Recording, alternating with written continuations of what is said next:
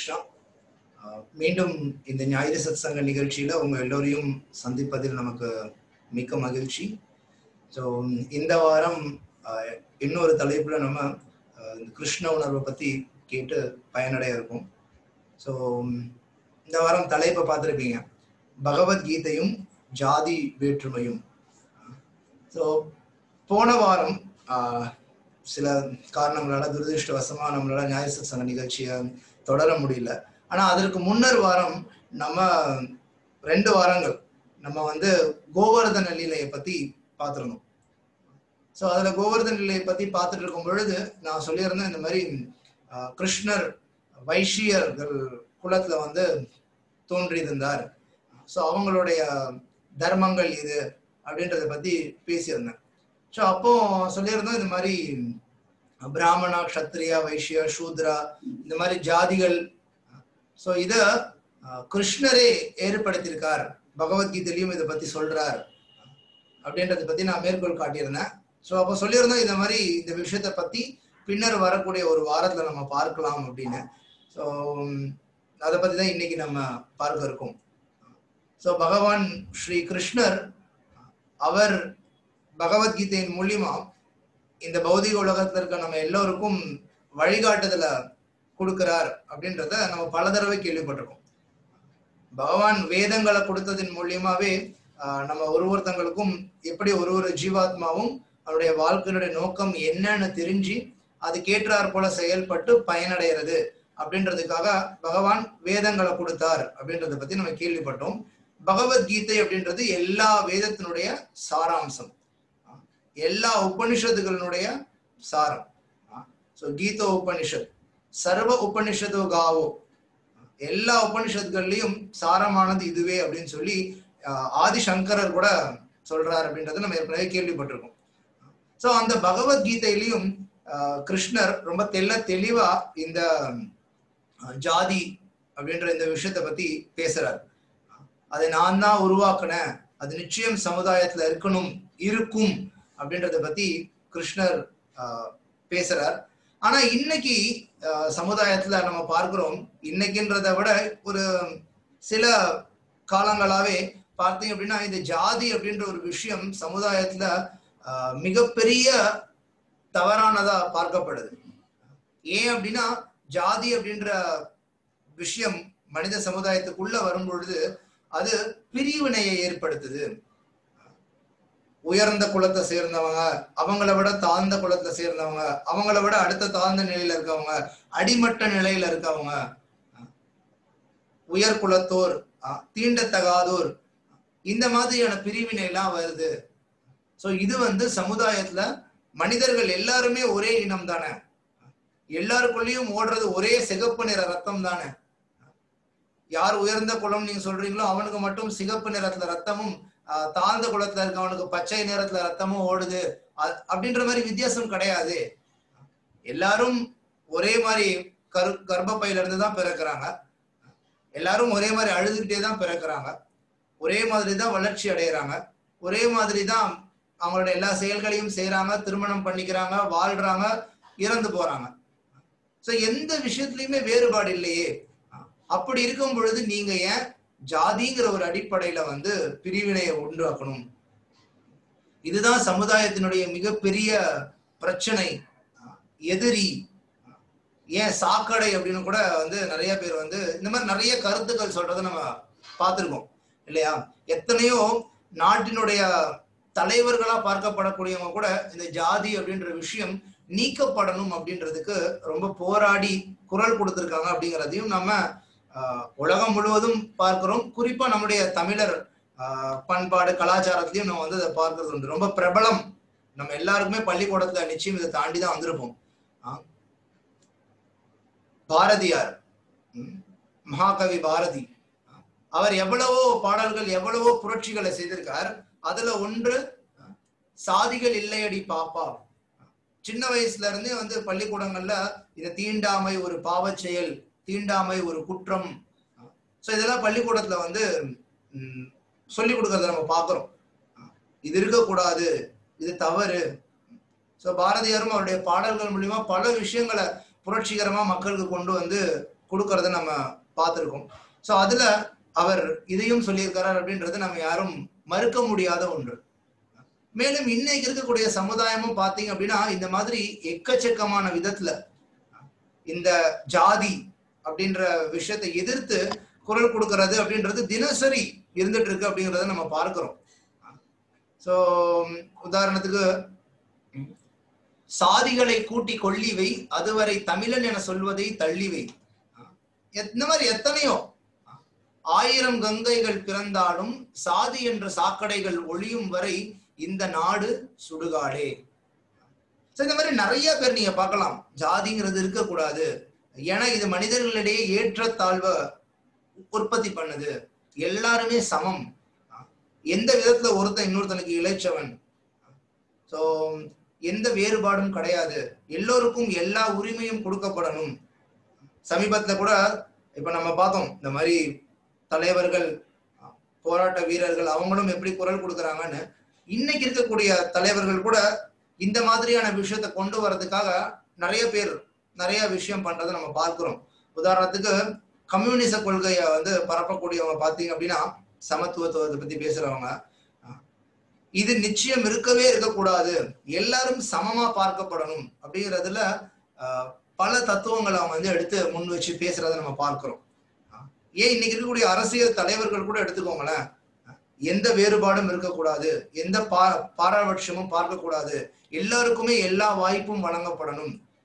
அது என்ன பிராமணர்கள் மட்டும் கோயில்ல வந்து பூஜாரியா இருந்து பூஜை பண்றது வேதங்கள் படிக்கிறது அது எல்லாருக்கும் பொதுவானதா இருக்கணும். யாரு வேணாலும் பூஜாரி ஆகலாம். யாரு வேணாலும் ஏன் ஆண் மட்டும்தான் அனுமதியா? பெண்களும் பூஜாரி ஆகலாம். பெண்களும் இதை பண்ணலாம் அதை பண்ணலாம். எல்லாருக்கும் சம உரிமை கொடுக்கணும் அப்படின்னு சொல்லி பல பேர் இந்த மாதிரி பேசிட்டு இருக்கக்கூடிய சமயத்துல நம்ம தலைப்புலயே சொல்லப்பட்டிருக்கிறது போல பகவத்கீதை பல ஆயிரக்கணக்கான வருஷங்களா குறைந்தது நமக்கு தெரியும் ஐயாயிரம் வருஷங்களுக்கு முன்னர் கிருஷ்ணர் பகவத்கீதையை அர்ஜுனனுக்கு பேசினார் அப்படின்னு. ஆனா அதே பகவத்கீதையில கிருஷ்ணர் அர்ஜுனன் கிட்ட சொல்றார் இந்த ஞானத்தை நான் சூரிய தேவன் ஆன விவசுவானுக்கு நான் இந்த ஞானத்தை கொடுத்தேன் அப்படின்னு சொல்லி சொல்றார். சில பிரபுபாதரன் நீங்க நம்மளுடைய பகவத்கீதை உண்மை ஒரு புஸ்தகத்தை எடுத்து பார்த்தீங்கன்னா தெரியும்.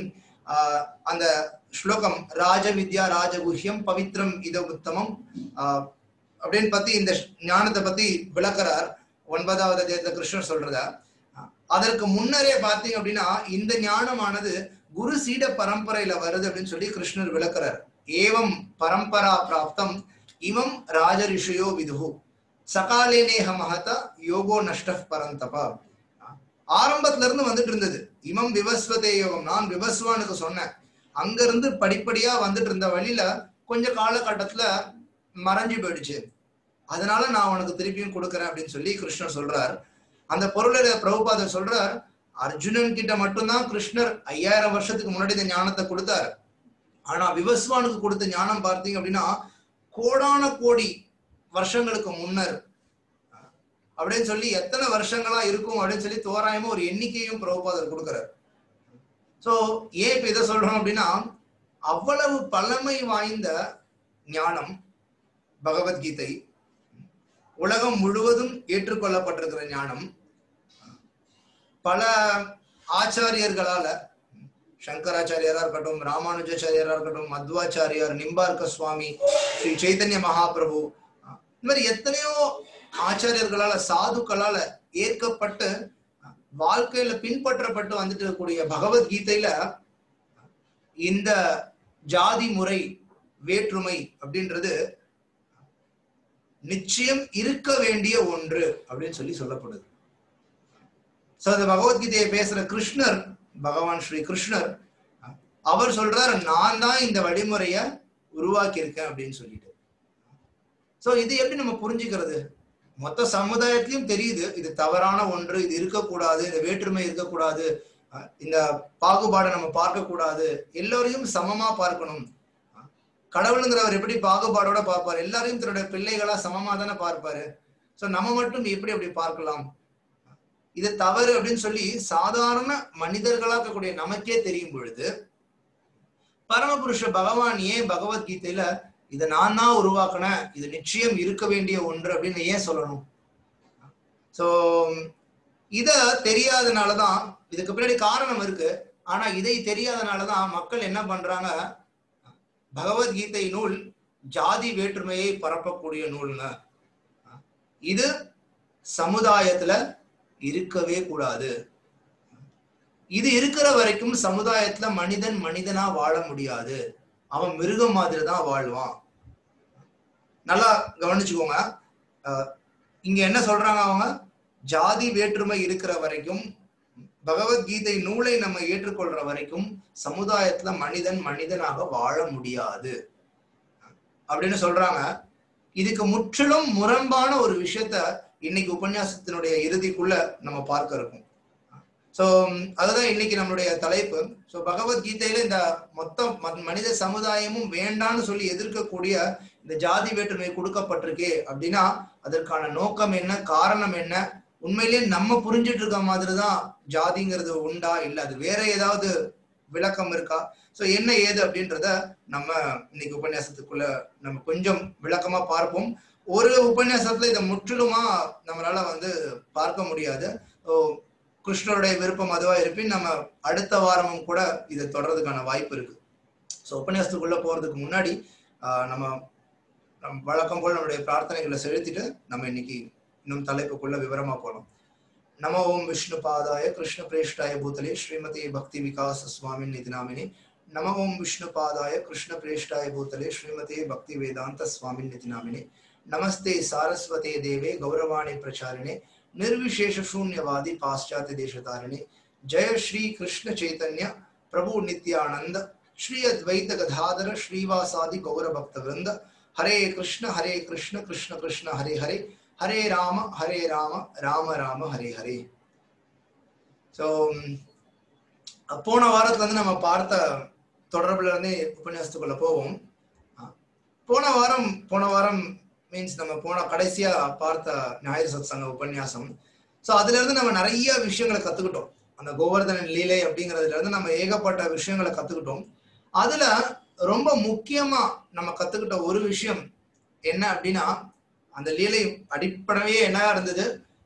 தேவர்களுக்கு செய்ய அந்த யஜ்ஞத்தை பகவான் நிறுத்திட்டு அவங்களுக்கு பண்ணாதீங்க தேவையில்லை தனிப்பட்ட விதத்துல அப்படின்னு சொல்லி நிலைநாட்டினார் அப்படின்னு. ஸோ காரணம் என்ன அப்படின்னா அது பகவானுக்கு செய்யப்பட வேண்டியது. எல்லா யாகங்கள் யஜ்யங்கள் எல்லாமே பகவானுடைய திருப்திக்கானவை அப்படின்றத பத்தி நம்ம பார்த்துடணும் இல்லையா? ஏன் இது கொடுக்கப்பட்டிருக்கு அப்படின்னா உம், கீதையிலையும் அதை சொல்றார். இந்த பௌதிக உலகத்தை படைத்த பிறகு கட்டுண்ட ஜீவாத்மாக்களா இருக்கக்கூடிய நம்ம எப்போ கிருஷ்ணர்ல இருந்து பிரிஞ்சு தனி தனியா அனுபவிக்கணும்னு நினைச்சோமோ அப்போ கிருஷ்ணர் நமக்காக தான் இந்த உலகத்தை ஏற்படுத்தி கொடுத்தார். நீ போய் தனியா அனுபவி. உண்மையா அனுபவிக்க முடியாது நம்மளால. ஏன்னா நம்மளுடைய இயற்கை அது கிடையாது. இருந்தாலும் நம்மளுடைய விருப்பத்திற்கு அவர் சரி போய் நீ அனுபவிக்க முயற்சி பண்ணி பார் அப்படின்னு சொல்லி நம்மளை அனுப்புறாரு. இருந்தாலும் அதே சமயத்துல பகவானால நான் நம்மளை அனுப்பிச்சிட்டு சந்தோஷமாவும் இருக்க முடியாது. ஏன்னா நம்ம அவருடைய பகுதி பின்னங்கள். நம்ம கஷ்டப்படுறத பார்த்து அவரால் சந்தோஷமா இருக்க முடியாது. ஸோ உடனே பகவான் என்ன பண்றார்? எப்போ இந்த பௌதிக உலகமானது படைக்கப்படுதோ உடனடியா வேதங்களை கொடுக்கிறார். அந்த வேதத்துல என்ன சொல்றார் அப்படின்னா மனிதர்களா இருக்கக்கூடிய அவங்க ஒரு ஒருத்தங்களும் யாகங்கள் யஜ்யங்கள்ல ஈடுபடணும். மனித சமுதாயத்துல இருக்கிற ஒரு ஒருத்தங்களும் யாகங்கள்ல ஈடுபடணும். பல வகையான யாகங்கள் யஜ்யங்கள் இருக்கு. சோ இதுல ஈடுபட்டு அவங்க எப்பம் தர்மம் சார்ந்த ரீதியா வாழ்க்கை நடத்துறாங்களோ அப்பம்தான் அவங்க வாழ்க்கையில உண்மையான சந்தோஷத்தை பெற முடியும். சோ அவங்க இங்க பௌதிக உலகத்துல வாழும் பொழுதும் சந்தோஷமா வாழ முடியும். பௌதிக உலகத்துல இருந்து வெளியில வர்றதுக்கான வழிமுறையும் இதுதான் அப்படின்னு சொல்லி பகவான் கொடுக்கிறார். என்னது? யஜ்யங்கள் பண்ணணும் யாகங்கள் பண்ணணும்னு. சோ வேதங்கள் எடுத்துக்கிட்டோம்னா இப்போ நீங்க இந்த படத்துல பார்த்த மாதிரி நிறைய வகையான யாகங்கள் பத்தி சொல்லப்பட்டிருக்கு. அக்னிக்கு பண்றதை பத்தி இந்திரனுக்கு பண்றதை பத்தி விநாயகருக்கு பண்றதை பத்தி சிவபெருமானுக்கு பண்றதை பத்தி இது மாதிரி எக்கச்சக்கமா கொடுக்கப்பட்டிருக்கு. மொத்தம் முப்பத்தி முக்கோடி தேவர்கள் இருக்காங்க. ஸோ ஒரு ஒருத்தவங்களுக்கும் ஒரு யஜ்யம் வச்சுக்கிட்டீங்கனாலே யோசிச்சு பாருங்க. அது மட்டும் இல்லாம இன்னும் நம்மளுடைய பெற்றோர்கள் மற்ற உயிரினங்கள் இந்த மாதிரி நிறைய பேருக்கு கடன் பட்டிருக்கோங்கிறதையும் நம்ம அந்த போன உபன்யாசத்துல பார்த்திருந்தோம். ஸோ இவ்வளவு யஜ்யங்கள் நம்மளால நிச்சயம் செய்ய முடியாது. ஸோ அதனாலதான் கிருஷ்ணர் அந்த கோவர்தன நிலையின் மூலியமா என்ன புரிய வச்சார்? நீங்க இந்த தேவர்கள் யாருக்கும் நீங்க பண்ண தேவையில்லை. நேரடியா எனக்கு நீங்க பண்ணுங்க போதும். எனக்கு நீங்க பண்றதன் மூலியமா எல்லாரும் திருப்தி அடைவாங்க. ஏன்னா நீங்க யாருக்கு யஜ்யம் பண்ணாலும் சரி அதனுடைய இறுதி அனுபவிப்பாளர் நானே அப்படின்னு சொல்லி கிருஷ்ணர் தெளிவா விளக்குறார். சோ பகவான் கிருஷ்ணருக்கு இன்னொரு பேர் என்ன அப்படின்னா யஜ்ஞ புருஷர் யஜ்யத்தினுடைய அனுபவிப்பாளர் அவரே அப்படின்னு. இன்னும் யஜ்ஞ புருஷன் சொல்றதை விட யஜ்ய அப்படின்னாலே அது பகவானுக்காக மட்டும்தான் அர்த்தம். சோ கிருஷ்ணர் கீதையில சொல்றார் ஒரு ஒரு மனிதனா பிறந்திருக்கிற ஒரு ஒருத்தனும் அவன் செய்ய வேண்டிய கடமை என்ன அப்படின்னா யஜ்யத்துல ஈடுபடணும். யஜ்யம்னா கிருஷ்ணரை திருப்திப்படுத்துறதுக்காக அவன் யஜ்யத்துல ஈடுபடணும் அப்படின்னு சொல்லி சொல்றார். ரொம்ப அற்புதமா அந்த ஸ்லோகம் பகவத்கீதையில கிருஷ்ணர் சொல்றார். மூன்றாவது அத்தியாயம் ஒன்பதாவது பதத்துல யஜ்ஞார்த்தாத் கர்மனோ யத்ர கர்மனோ அந்யத்ர லோகோயம் கர்ம பந்தனக ததர்த்தம் கர்ம கௌந்தேய முக்த சங்க சமாச்சர. கர்ம கௌந்தையாவோ குந்தியின் மகனே முக்த சங்க சமாச்சர.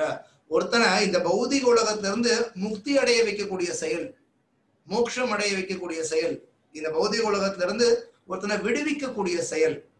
என்னங்க? அப்படின்னா முதல் வரியில கிருஷ்ணன் சொல்றார். என்ன சொன்னார்?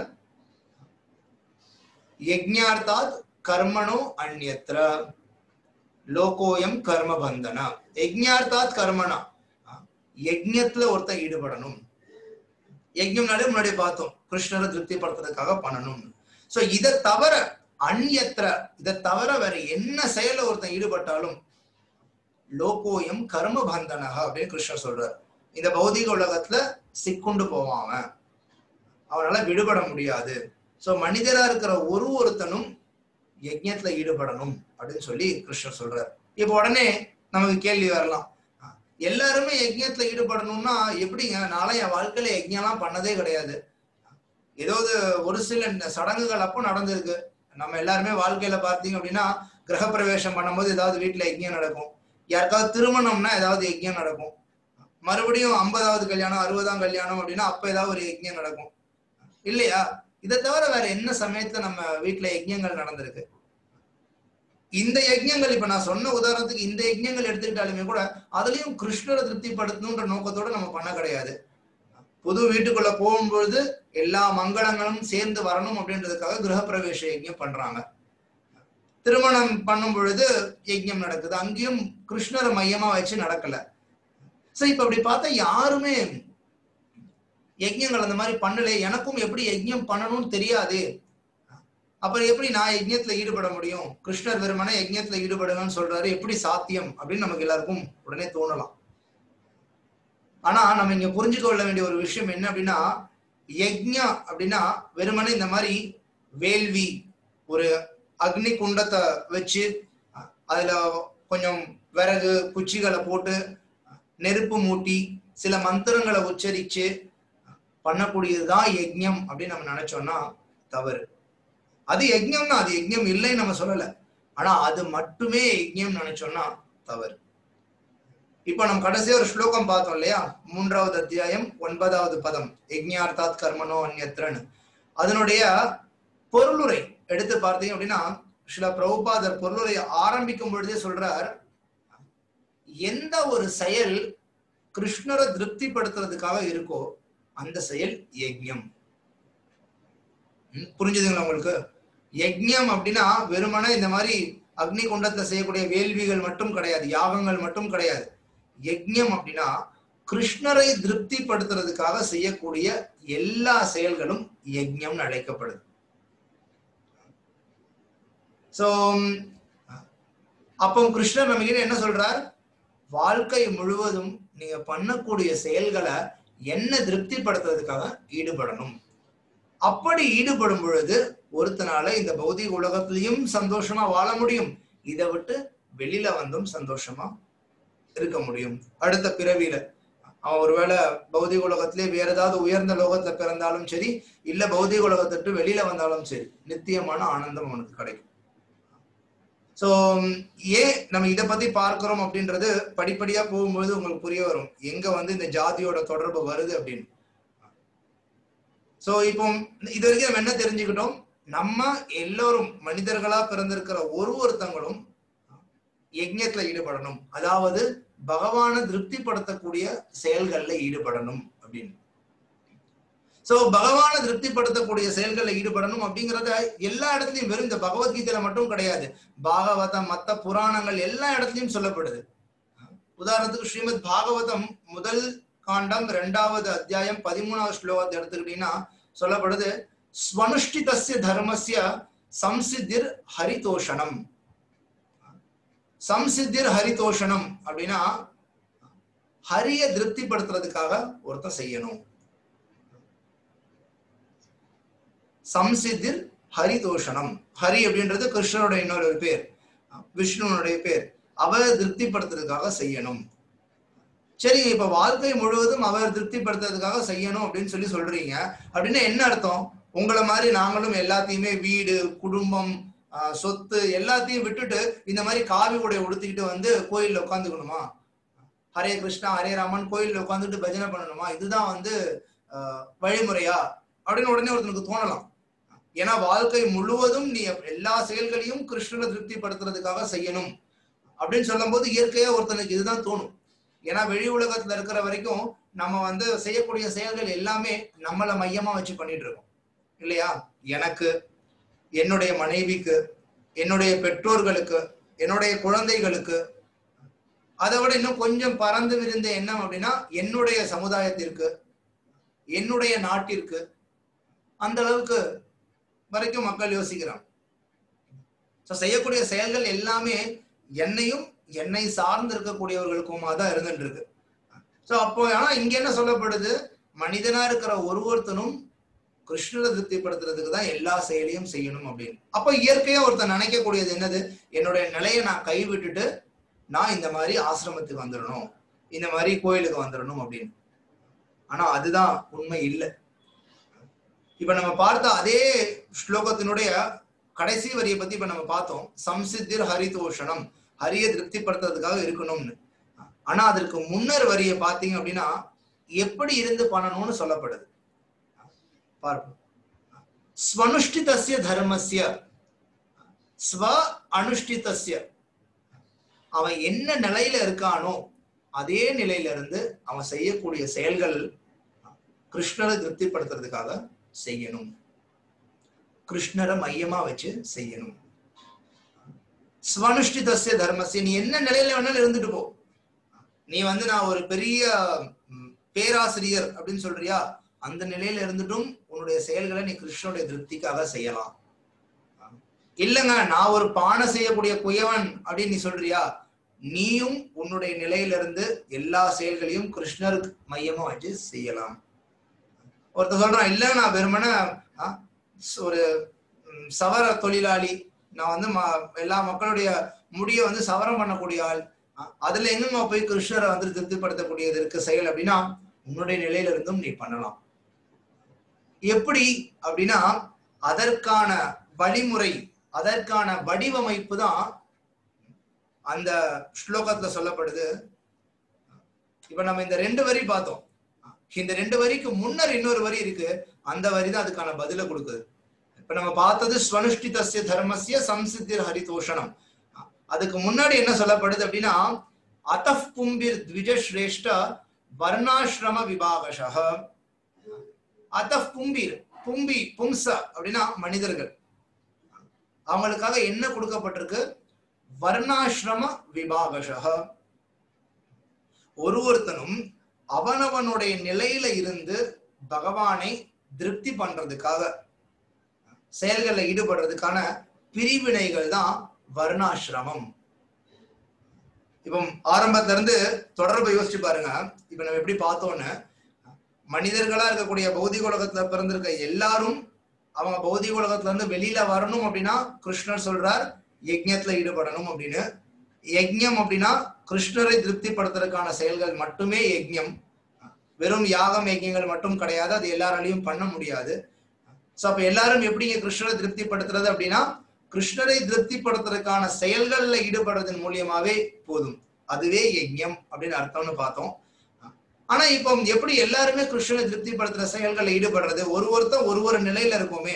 நான் ஒரு குடும்பஸ்தனா இருக்கேன். நீங்க வந்து ஒரு பிரம்மச்சரியா இருக்கீங்க. உங்களால சாத்தியம் என்னால சாத்தியம் இல்லை. நீங்க வந்து எல்லாத்தையும் துறவரம் கொண்டு வந்திருக்கீங்க. எனக்கு பெரிய படிப்பு இருக்கு வேலை இருக்கு சொத்து இருக்கு. இது எல்லாத்துக்கும் நான் வந்து சார்ந்து இருக்கேன். சோ அதை என்னால விட்டுட்டு வர முடியாது. இப்ப என்னால எப்படி கிருஷ்ணரை திருப்திப்படுத்த முடியும் அப்படின்னா அதற்கான வடிவமைப்பு தான் வர்ணாசிரம விபாகஷக இந்த ஸ்லோகத்துல நம்ம பார்த்தோம் இல்லையா? சோ வர்ணாசிரம விபாகஷக சோ எல்லா நிலைகள்ல இருக்கவங்களும் அவங்கவுங்க செயல்களில் ஈடுபடலாம். ஆனா நோக்கம் கிருஷ்ணரை திருப்திப்படுத்துறதா இருக்கும்.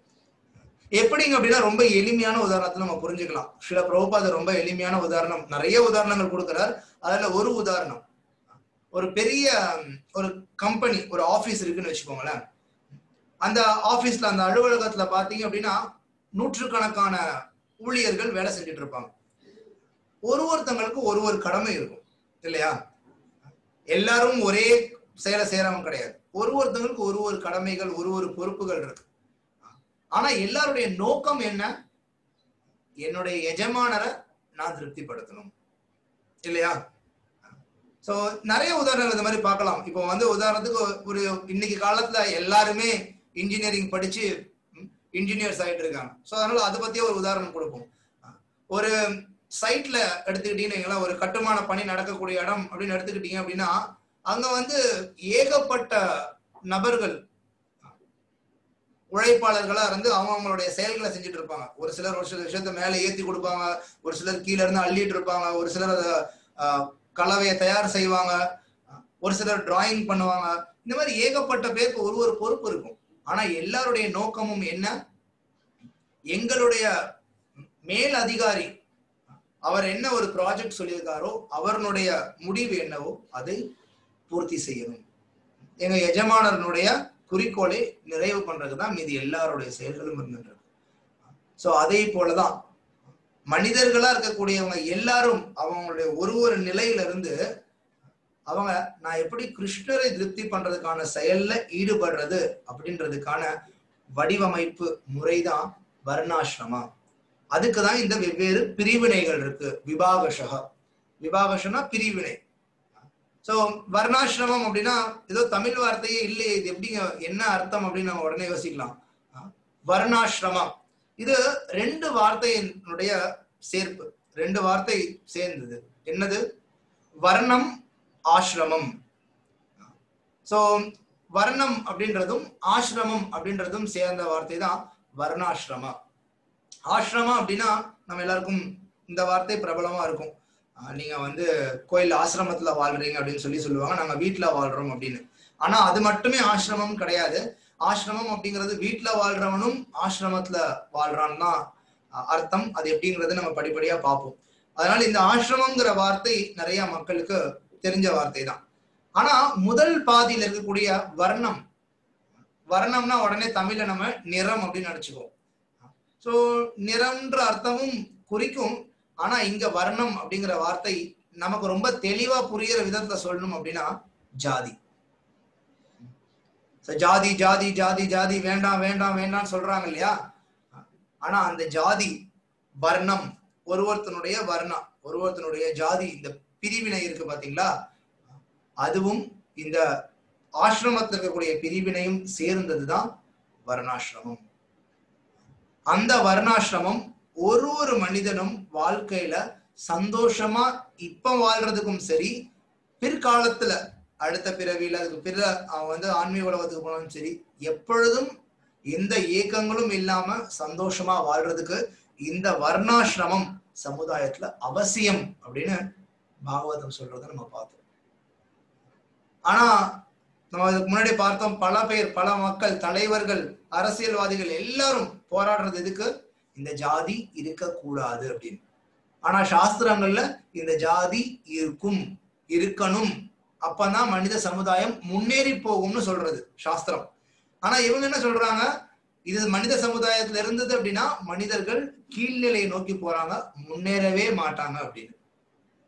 எப்படி ஒரே விஷயத்தை இந்த ரெண்டு பேரும் வெவ்வேறு விதமா புரிஞ்சுட்டு இருக்காங்க அப்படிங்கிறத இப்போ நம்ம பார்க்கறது மூலியமா தெரிஞ்சுக்கலாம். சோ இப்ப இந்த வர்ணாசிரமம் அப்படிங்கறத நம்ம ஏற்கனவே சொன்னோம். பகவத்கீதையில கிருஷ்ணர் நிலைநாட்டுறார். குறிப்பா இந்த வர்ணம் ஜாதி அப்படிங்கிறத பத்தி கிருஷ்ணர் பகவத்கீதை தெல்ல தெளிவா நான் தான் இதை உருவாக்கி இருக்க மனித சமுதாயத்துக்கு தேவைன்னு சொல்லி சொல்றார். அது எங்கெங்க சொல்றார் அப்படின்னா பகவத்கீதையினுடைய நான்காவது அத்தியாயம் பதிமூன்றாவது ஸ்லோகத்தை சொல்றார்.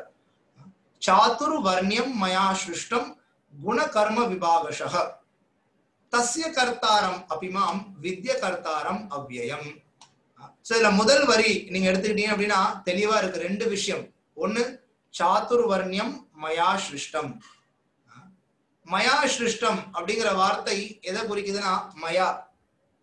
என்னால சிருஷ்டம் சிருஷ்டி படைக்கப்படுறது. என்னால உருவாக்கப்பட்டிருக்குது இது அப்படின்னு சொல்லி கிருஷ்ணர் தெல்ல தெளிவா சொல்றார். ஆ? மயா சிருஷ்டம் என்ன அவரால் உருவாக்கப்பட்டிருக்கு? முதல் வார்த்தையில அதை சொல்றாரு.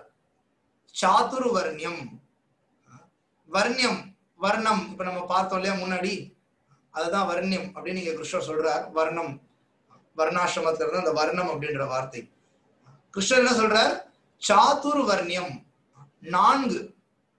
ஏக த்விதீய திருத்திய சதுர் சோ சாத்துர் அப்படின்றது இங்க நான்கு அப்படின்ற எண்ணை குறிக்குது. சாத்துர் வர்ணியம் மயா சிருஷ்டம். நான் தான் இந்த பிரிவினையை ஏற்படுத்தியிருக்கேன். நான்கு வர்ணங்களா நான்கு ஜாதிகளா பிரிச்சிருக்கேன் அப்படின்னு சொல்லி சொல்றாரு கிருஷ்ணர். உடனே இங்க ஒருத்தர் நினைக்கலாம் இல்லைங்க கிருஷ்ணர் இங்க சொல்றது வேற ஜாதியா இருக்கலாமே. இவங்க வந்து பிராமண கஷத்திரியர் இந்த மாதிரி உயர்ந்த குலம் தாழ்ந்த குலம்ன்றத ஜாதின்னு நினைக்கிறாங்க. ஆனா கிருஷ்ணர் இங்க சொல்லக்கூடியது மேபி ஒருவேளை வேற ஏதாவது இருக்கலாமே அப்படின்னு. சந்தேகமே வேணாம். கிருஷ்ணர் என்ன சொல்றார் அப்படின்னா அவரிடத்துல இருந்து என்ன தோன்றியது? நான்கு பிரிவுகள். பிராமணர்கள் க்ஷத்திரியர்கள் வைஷ்யர்கள் சூத்திரர்கள். சோ இந்த நான்கு பிரிவினைகள் கிருஷ்ணர் சொல்றார் அதுதான் அந்த சாத்துரு வர்ணியம் என்னன்னா பிராமண க்ஷத்ரிய வைஷ்ய சூத்ர இவங்க ஒருவர்த்தங்களும் யாரு என்ன ஏது அப்படின்ற விவரங்கள் நம்ம பின்னர் பார்ப்போம். சோ இப்போ கிருஷ்ணர் என்ன சொல்றார்? இந்த நான்கு பிரிவுகள் தான் அது அப்படின்னு. சோ அப்போ மொத்த மனித சமுதாயமும் இருக்கக்கூடாதுன்னு எதை நினைக்கிறாங்களோ அதைத்தான் இப்ப கிருஷ்ணர் படைச்சிருக்கார். அப்புறம் அவர் எப்படிங்க ஒரு உயர்ந்த நபராவோ கடவுளாவோ கருதப்பட முடியும்? ஏன்னா இதுதான் எல்லா போர் எல்லா பிரச்சனைக்கும் இதுதான் காரணம். சோ இதுதான் ஒருத்தனை மிருகமா மாத்தின்னு இருக்கு உயர்ந்த குலத்துல இருக்கவன் தாழ்ந்த குலத்துல இருக்கவனை பார்த்து அவன் வந்து அவதூறா ஏறி மிதிக்கிறது ஏற்றி பிழைக்கிறது இந்த மாதிரி நிறைய விஷயங்கள் பண்றாங்க. சோ அப்போ கிருஷ்ணரால படைக்கப்பட்ட இது தவறானது. அவர் கொடுத்த வழிமுறை தவறு அவரும் தவறான நபர். அப்படின்னு நிறைய பேர் கருத்துக்களை சொல்றதை நம்ம பார்க்கிறோம். ஏன் ஏன் அவங்க வந்து கிருஷ்ணர் ஏற்படுத்திருக்கக்கூடிய வழிமுறை கிருஷ்ணர் நான் தான் உருவாக்கி இருக்கேன் நிச்சயம் இது தேவை அப்படின்றத அவரும் சரி சாஸ்திரங்களும் சரி விளக்குதுன்றத பார்த்தோம். ஆனா இவங்க அத தேவை இல்லைன்னு சொல்றாங்க இல்லையா? பிரச்சனையே எங்க அப்படின்னா இந்த ஸ்லோகத்தினுடைய அடுத்த வரி தெளிவுபடுத்துது. முதல் இந்த ஸ்லோகத்தினுடைய முதல் வரியை எல்லாரும் ஏத்துக்கிறாங்க. சாத்துரு வர்ணியம் மயா சிஷ்டம் நான்கு வர்ணங்கள் இருக்கு நான்கு ஜாதிகள் இருக்கு பிரிவினைகள் இருக்கு. இத கிருஷ்ணர் படைச்சிருக்கார். அப்படின்றத வரைக்கும் ஏத்திக்கிட்டு தவறு பகவத்கீதையை நிராகரிங்க ஜாதியை நிராகரிங்க கிருஷ்ணரை நிராகரிங்க அப்படிங்கிறாங்க. அடுத்த வரியை தாண்டி போக மாட்டேன்றாங்க. அடுத்த வரி நீங்க படிச்சீங்கன்னா தெல்ல தெளிவா புரியும். ஏன் கிருஷ்ணர் இந்த வழிமுறை கொடுத்திருக்கார்? ஏன் இது சாஸ்திரங்கள் முழுவதும் ஏற்றுக்கொள்ளப்பட்டிருக்கு? ஏன் இது தவறு கிடையாது? அப்படிங்கிறத அடுத்த வரி படிச்சாதான் தெரியும். அடுத்த வரையில என்ன சொல்லப்படுது பாருங்க நீங்களே பாருங்க. சோ கிருஷ்ணர் என்ன சொல்றார் அப்படின்னா அடுத்த வரியில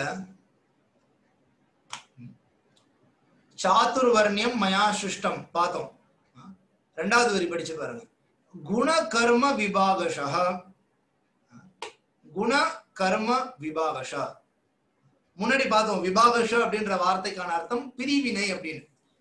சோ கிருஷ்ணர் சொல்றார் இந்த நான்கு வர்ணங்களை நான் எப்படி பிரிச்சிருக்கேன் அப்படின்னா குண கர்ம விபாகஷா.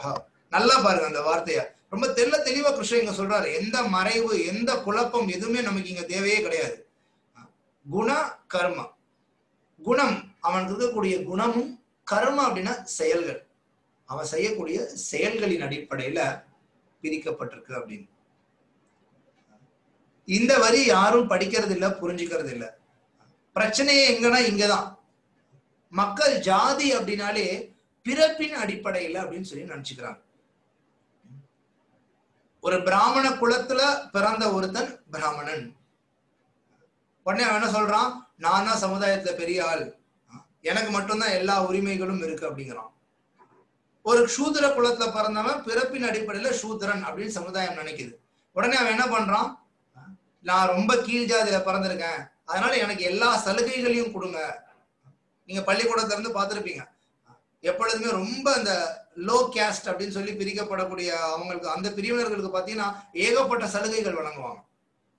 ரொம்ப எளிமையா கூட அவங்களுக்கு அரசு கல்லூரிகள்ல படிக்கிறதுக்கான வாய்ப்போ இல்ல வேலை வாய்ப்பு இந்த மாதிரி நிறைய வாய்ப்புகள் கிடைக்கிறத நம்ம பார்த்துருக்கோம். மைனாரிட்டி கிளாஸ் அப்படின்னு சொல்லிட்டு.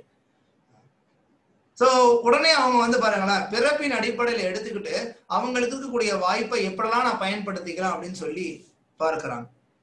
ஆனா கிருஷ்ணர் இங்க ஜன்ம கர்ம விபாகஷகான்னு சொல்லல. பிறப்பின் அடிப்படையிலன்னு சொல்லல. கிருஷ்ணன் என்ன சொல்றார்? குண கர்ம விபாகஷக. அவனுடைய குணத்தின் அடிப்படையில. பிறப்பின் அடிப்படையிலன்னு கிருஷ்ணன் சொல்லவே கிடையாது. இங்கதான் மிகப்பெரிய பிரச்சனையே மொத்த சமுதாயத்திலையும். ஜாதி அப்படின்னாலே பிறப்பின் அடிப்படையிலன்னு நிறைய பேர் நினைச்சுக்கிட்டு கலியுகத்தை துரதிருஷ்டவசமா ஒரு சிலர் அதை துஷ்பிரயோகம் பண்றதின் காரணத்தினால எல்லாரும் ஜாதி முறை அப்படின்னா பிறப்பின் அடிப்படையில அப்படின்னு சொல்லி நினைச்சுக்கிறாங்க. அதனால இது இருக்கவே கூடாது. இது நீக்கப்படணும் அப்படிங்கிறாங்க. நம்மளும் அதுதான் சொல்றோம். ஜாதிங்கிறது பிறப்பின் அடிப்படையில இருக்கக்கூடாது. கிருஷ்ணரும் அதுதான் சொல்றாரு. அது பிறப்பின் அடிப்படையில கிடையாது. ஆனா ஜாதி அப்படின்றது குண கர்ம அந்த அடிப்படையில இருக்கணும். ஆனா பொது மக்களுக்கு இதை பத்தின ஒரு கான்செப்ட் இதை பத்தின அபிப்பிராயம் என்னமே கிடையாது. குண கர்ம அப்படின்னு. அவனை பொறுத்த வரைக்கும் ஜாதினா பிறப்பின் அடிப்படையில. சோ அதனால அது நிராகரிக்கப்படணும் அது நீக்கப்படணும் அப்படிங்கிற எண்ணம் மட்டும்தான் இருந்துட்டு சோ சமுதாயத்துல பெரிய பெரிய தலைவர்களா அவங்கள அவங்க காட்டிக்கலாம். பெரிய விஞ்ஞானியா காட்டிக்கலாம். பெரிய போராட்ட வீரரா கூட காட்டிக்கலாம். ஆனா இந்த பகவத்கீதை இந்த அடிப்படை ஞானம் தெரியாதனால என்ன ஆகுது? அவங்க இந்த வழிமுறையை ஒதுக்குறது மட்டும் இல்லாம அதாவது கிருஷ்ணர் ஏற்படுத்தின இந்த வழிமுறையை ஒதுக்குறது மட்டும் இல்லாம கிருஷ்ணரை பத்தியும் ரொம்ப அவதூறா பேசுறத நம்ம பார்க்கிறோம். சமுதாயத்துல பெரிய தலைவர்களா மதிக்கப்பட்டுட்டு இருக்கவங்க அந்த மாதிரி நடந்துட்டு இருக்காங்க. நான் ஏதோ வேற நாட்டை பத்தியோ இல்ல வேற ஏதாவது தலைவர்களை பத்தியோ பேசல. நான் இந்தியால இருக்க தலைவர்களை பத்தி தான் பேசிட்டு இருக்கேன். ஏங்க வேற தலைவர்களுக்கும் இந்திய தலைவர்களுக்கும் என்னங்க பெரிய வித்தியாசம் அப்படின்னா மேற்கத்திய நாடுகள்ல துரதிருஷ்டவசமா நிறைய பேருக்கு கிருஷ்ணரை பத்தியோ கிருஷ்ணருடைய போதனைகள் பத்தியோ தெரியாது. சில பிரபுபாதர் மேற்கத்திய நாட்டுக்கு போய் இந்த ஞானத்தை வழங்குற வரைக்கும் யாருக்கும் தெரியாம இருந்தது. ஆனா இந்தியா சாஸ்திரத்துல விளக்கப்படுது இந்தியால பிறக்கிற ஒரு ஒருத்தனும் அவன் போன ஜென்மத்துல செய்த பெரிய புண்ணியத்தின் விளைவா தான் பிறக்கிறான். ஏன்னா பாரத பூமியில பிறக்கிற ஒரு ஒருத்தனுக்கும் அவன் கிருஷ்ண பக்தன் ஆகிறதுக்கு அந்த யஜ்யத்துல ஈடுபடுறதுக்கான வாய்ப்பு பிறவியில இருந்தே வழங்கப்படுது. சோ அப்படிப்பட்ட புண்ணியமான பாரத பூமியில பிறந்துட்டு தலைவர்கள் இந்த வழிமுறைய ஒதுக்குறது மட்டும் இல்லாம கிருஷ்ணரை ரொம்ப இழிவா மோசமா பேசுறத பார்க்கக்கூடிய துரதிருஷ்டவசமான சூழ்நிலையில தான் நம்ம இருந்துருக்கோம். மேலும் அப்பேற்பட்ட தலைவர்கள் நம்ம புகழ்ந்து பாராட்டி ஒரு ஒரு வருஷமும் கொண்டாடிட்டும் இருக்கோம். ஏ- ஏக- ஏகப்பட்ட பேரை பத்- பத்தி பேசலாம். உதாரணத்துக்கு ஒரே ஒருத்தரை பத்தி மட்டும் நான் சொல்றேனே. ஏன் தமிழ் தலைவரே நம்ம எடுத்துக்குவோம். ரொம்ப பிரபலமான முகம் தமிழக தமிழ் அப்படின்னா தமிழ் எல்லாருக்கும் தெரிந்தவர். தென்னிந்தியால ரொம்ப பிரபலமானவர். யாரு? டாக்டர் அம்பேத்கர். நம்ம ஒரு ஒருத்தங்களும் அவரை வந்து பெரிய அளவு பள்ளிகள்லயும் சரி கல்லூரிகள்லயும் சரி அவரை பத்தி படிக்கிறது உண்டு. அவருடைய பிறந்த நாள் வரப்பும் அவர் பெரிய அளவு நம்ம வந்து கொண்டாடுறது உண்டு. இல்லையா? ஏன்னா இந்தியாக்காக பெரிய அளவு போராட்டங்கள் ஈடுபட்டிருக்காங்க. இந்த தீர வீர தீர செயல்களை செஞ்சிருக்காங்க அப்படின்னு. ஏற்கனவே நம்ம பார்த்தது போல மனிதர்களா இருக்க ஒரு ஒருத்தவங்களும் நான் என்னுடையது என்னுடைய நாடு அப்படிங்கிறதுக்காக போராடுறதுனால மட்டும் அவன் மனிதனாயிடுறது கிடையாது. எப்போ ஒருத்தன் மனிதனுக்கான செயல்கள்ல ஈடுபட ஆரம்பிக்கிறானோ சாஸ்திரம் தெளிவா சொல்லுது எப்போ ஒருத்தன் இந்த வர்ணாசிரமத்துல ஈடுபட ஆரம்பிக்கிறானோ அப்பந்தான் மிருகங்கிற நிலையில இருந்து மனிதன்ற நிலைக்கே வரான் அப்படின்னு. சோ இப்போ இவர் வெறும் வர்ணாசிரமத்தை ஒதுக்குறது மட்டும் இல்லாம கிருஷ்ணரை பத்தி பல இடங்களை நீங்க பார்க்கலாம் எவ்வளவு இழிவா அவதூறா பேசியிருக்காங்க அப்படின்னு உதாரணத்துக்கு அவர் சொல்றது அவருடைய நேரடியான வாக்கியம் அவருடைய புஸ்தகங்கள்ல இருந்து I shall have no faith in Rama and Krishna who are believe to be incarnation of God ராமரோ கிருஷ்ணரோ கடவுளுடைய அவதாரம்னு சொல்லி அழைக்கப்படக்கூடிய இவங்கள் மீது எனக்கு நம்பிக்கை கிடையாது. சோ அதோட முடிஞ்சிடல. நீங்க பார்க்கலாம் இன்னும். நார்ஷலை வர்ஷித்தம் ஐ நான் அவங்களை வழிபட போறதும் கிடையாது. I thereby reject my old religion Hinduism.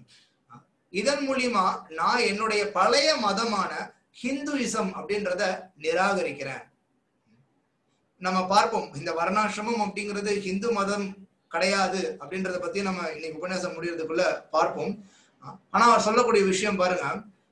நான் என்னுடைய பழைய மதமான ஹிந்துவிசத்தை நான் நிராகரிக்கிறேன். ஏன் அப்படின்ற விளக்கத்தை கொடுக்கிறாரு. Is is detrimental to the prosperity of humankind and which discriminates between man and man and which treats me as inferior. புரிஞ்சுதுங்களா உங்களுக்கு? இந்த ஹிந்துவத்துவமானது ஹிந்துயிசமானது மனிதர்களிடையே பாகுபடுத்தி பார்க்குது ஸோ இந்த ஜாதி வழிமுறையை பத்தி சொல்றார். கிருஷ்ணர் தான் இந்த வழிமுறையை கொடுத்தார் அப்படின்றனால அவர் தெளிவா இங்க சொல்றார். இது ஒரு ஒரு மனிதனையும் பாகுபடுத்தி பார்க்குது இப்படி பாகுபடுத்தி பார்க்கக்கூடிய இந்த விஷயம் என்னை தாழ்ந்தவனா ஆரம்பத்துல இருந்தே ஆக்குது. அதனால நான் இதை நிராகரிக்கிறேன் நான் இதை பின்பற்ற மாட்டேன் நான் கிருஷ்ணர் ராமரை ஏத்துக்க மாட்டேன் அவங்கள வழிபட மாட்டேன். ஏன்னா இவ்வளவு மோசமான விஷயத்தை அவங்க கொடுத்துருக்காங்க. சோ பார்க்கலாம். சமுதாயத்துல எவ்வளவு பெரிய தலைவரா புத்திசாலியா கருதப்படக்கூடிய நபர் கூட இந்த அடிப்படையான விஷயம் அதாவது இந்த ஜாதியானது பிறப்பின் அடிப்படையில சாஸ்திரங்கள்ல கொடுக்கப்படலை அப்படின்றது தெரியாதனால எந்த அளவுக்கு ரொம்ப அபராதம் விளைவிக்கக்கூடிய விதத்துல அவருடைய விஷயங்கள் வாக்கியங்கள் இருக்குன்னு பார்க்கலாம். வெறும் வாக்கியங்களோட அவர் நிறுத்தல. இன்னும் ரொம்ப துரதிருஷ்டமான ஒரு விஷயம். அவருடைய புஸ்தகத்தினுடைய அட்டை படமே இதுதான். கிருஷ்ணரையும் ராமரையும் அவர் நான் நிராகரிக்கிறேன். அவங்களை நான் வந்து அடிக்கிறேன் அப்படின்ற விதத்துல அந்த படத்துல இருந்திருக்கும் நீங்க பார்க்கலாம். சோ ரொம்ப மோசம் ரொம்ப மோசமான விளைவு. எப்போ ஒருத்தங்க வந்து பகவான் கொடுத்திருக்கிறத ஏன் எதுக்காக கொடுத்திருக்காரு அப்படின்றத தெளிவா ஒரு கிருஷ்ணருடைய பக்தன் கிட்ட இருந்து கேட்கலையோ அப்பம் இந்த பிரச்சனை நடக்கும். இந்த பிரச்சனையெல்லாம் எப்ப ஆரம்பிச்சது அப்படின்னா ஆங்கிலேயர்கள் இந்தியாக்குள்ள வர பொழுது வரதுக்கு முன்னாடி உங்களுக்கு தெரியும் முகலாயர்கள் இங்க நிறைய பேர் ஆட்சி பண்ணிட்டு இருந்தாங்க. அப்பம் அவங்களும் சரி ஆங்கிலேயர்கள் உள்ள நுழைந்தப்பவும் சரி பெரிய அளவு இந்தியால இருந்த மக்களை பாரத பூமியில இருந்த மக்களை அசைக்க முடியல அவங்களால. ஏன் அப்படின்னா மக்கள் வேதங்கள்ல வேரூன்றி இருந்தாங்க. வேதங்களை பின்பற்றி தெரிஞ்சு அந்த விஷயங்களை புரிஞ்சு. ஆனா ஆங்கிலேயர்கள் உள்ள வரும் பொழுது இந்தியாவை நம்ம கைப்பற்றணும்னா நம்ம பண்ண வேண்டிய விஷயம் ஒன்னே ஒண்ணுதான் அப்படின்றத புரிஞ்சுக்கிட்டாங்க. என்னது? வேதங்களை மக்கள் கிட்ட இருந்து பிரிச்சுக்கணும். அந்த வேதங்கள் இருக்கக்கூடிய விஷயங்களை தவறு அப்படின்றத எடுத்து காட்டணும். அப்படின்ற விதத்துல எடுத்து காட்டணும் ஏன்னா தவற எடுத்து தவறு கிடையாது வேதங்கள் இருக்காது ஆனா அதை தவறுன்றத போல நம்ம எடுத்து காட்டணும். அப்படின்றதுக்காக அவங்க என்ன பண்ண ஆரம்பிச்சாங்க? வேதங்களை படிச்சு அதை எப்படி நம்ம வந்து ஏதாவது தவறு அப்படின்னு சொல்லி காட்டி மக்களை குழப்பி அவங்கள வேதங்களை வந்து பின்பற்ற விடாம பண்றது அப்படிங்கிறத நோக்கமா கொண்டுதான் உள்ள இறங்கினாங்க. அவங்களுடைய செயல்ல வெற்றியும் கண்டாங்க. அதனுடைய விளைவாதான் இன்னைக்கு இந்தியா பார்க்கலாம். துரதிருஷ்டவசமா மேற்கத்திய நாடை பின்பற்ற முயற்சி பண்ணிட்டு நம்ம நம்மளுடைய எல்லா கலாச்சாரத்தையும் இழந்துட்டு வந்துட்டு இருக்கோம். ஸோ அவங்க கொண்டு வந்து கொடுத்த கான்செப்ட் தான் இது. ஆராய்ச்சி பண்ணி அவங்க சொன்னது என்னன்னா இந்த ஜாதி முறை அப்படின்றது பிறப்பின் அடிப்படையில். ஆனா வெறுமனே நீங்க படிக்கிறதன் மூலியமா இந்த ஸ்லோகத்துல தெளிவா தெரிஞ்சுக்கலாம். இது பிறப்பின் அடிப்படையில கிடையாது. கிருஷ்ணர் கொடுக்கறது குண கர்ம விபாகஷா சோ கிருஷ்ணர் குணத்தின் அடிப்படையில இந்த நான்கு பிரிவினைகளை ஏற்படுத்தியிருக்கார். என்னன்னா பிராமணா க்ஷத்ரியா வைஷ்யா சூத்ரா. சோ பிராமணனுக்குன்னு ஒரு குறிப்பிட்ட குணாதிசயங்கள் இருக்கு. க்ஷத்ரியன் அப்படின்றவனுக்கு குறிப்பிட்ட குணாதிசயங்கள் இருக்கு. வைஷ்யன் அப்படின்றவனுக்கு குறிப்பிட்ட குணாதிசயங்கள் இருக்கு. சூத்ரன் அப்படின்றவனுக்கு குறிப்பிட்ட குணாதிசயங்கள் இருக்கு. சோ அந்த குணாதிசயத்தை யார் ஒருத்தன் வெளிப்படுத்துறானோ அந்த குணாதிசயத்தை யார் ஒருத்தன் வளர்த்துக்கிறானோ அவனால. பிராமணனுக்கான குணாதிசயங்களை வளர்த்துக்கிட்டான் அப்படின்னா அவனை நீ பிராமணன்னு சொல்லு. பிறப்பின் அடிப்படையில ஒரு சூத்திர குலத்தை கூட பிறந்திருக்கலாம். ஆனா பிராமணனுக்கான குணாதிசயத்தை வளர்த்துக்கிட்டான்னா அவனை பிராமணனா கருதணும். க்ஷத்ரியனுக்கான குணாதிசயங்களை வளர்த்துக்கிட்டான்னா அவனை க்ஷத்ரியனா கருதணும். வைஷ்யனுக்கான குணாதிசயங்களை வளர்த்துக்கிட்டான் அப்படின்னா அவனை வைஷ்யனா கருதணும். சூத்திரக்கான குணாதிசயங்கள் தான் அவன்கிட்ட இருக்கு அப்படின்னா அவனை சூத்திரனா கருதணும். குணத்தை பொறுத்து பிறப்பை பொறுத்து கிடையாது. பிறப்பு அந்த குணத்தை வளர்த்துக்கிறதுக்கு உதவிகரமா அமையலாம். அமையாமலும் போகலாம். பிறப்பு வந்து உதவிகரமா அமையறதுக்கான வாய்ப்பு அதிகம். உதாரணத்துக்கு ரொம்ப இந்த சாதாரண உலகத்துல கூட உதாரணத்தோட நீங்க புரிஞ்சுக்கணும் அப்படின்னு நினைச்சீங்க அப்படின்னா ஒரு மருத்துவனுடைய குல- குடும்பத்துல பிறக்கக்கூடிய ஒரு குழந்தை பிறப்பின் அடிப்படையிலேயே அவன் மருத்துவன் ஆயிடுறது கிடையாது. ஒரு டாக்டருக்கு பையனா பிறந்துட்டான்ப்பா அவன் டாக்டர் தான். அவன் படிக்கிறான் படிக்கல என்னவா இருந்தாலும் சரி நான் அவன்கிட்ட போய் மருத்துவம் பாக்குறேன் கிடையாது நம்ம போக மாட்டோம். ஒரு நாள் ஒரு மருத்துவமனைக்கு போறீங்க. உதாரணத்துக்கு போன வாரம் நான் மருத்துவமனை போயிருந்தேன் கைக்கு. அப்ப அங்க மருத்துவர் இல்லை அப்படின்னு சொல்லிட்டு மருத்துவனுடைய மகன் ஆஸ்பத்திரியில இருக்காரு. அதனால அவரை எனக்கு ட்ரீட்மெண்ட் பண்ணட்டும். அப்படின்னு போய் நான் கேட்க போறது கிடையாது. அப்படி கேட்டேன்னா என்னை விட பெரிய முட்டாள் யாரும் இருக்க முடியாது. அந்த மகனும் மருத்துவரா தேர்ச்சி பெற்றிருந்தால் ஒழிய.